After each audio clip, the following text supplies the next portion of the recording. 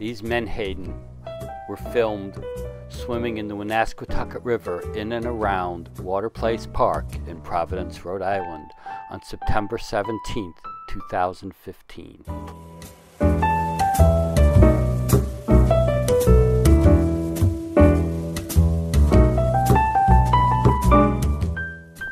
The small school of adults contains somewhere around 10 or 12 fish, and the fish are between 12 and 14 inches long.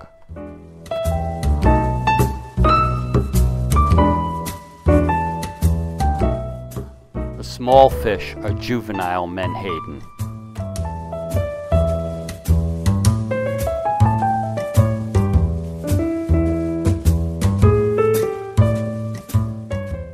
This is pretty typical menhaden behavior.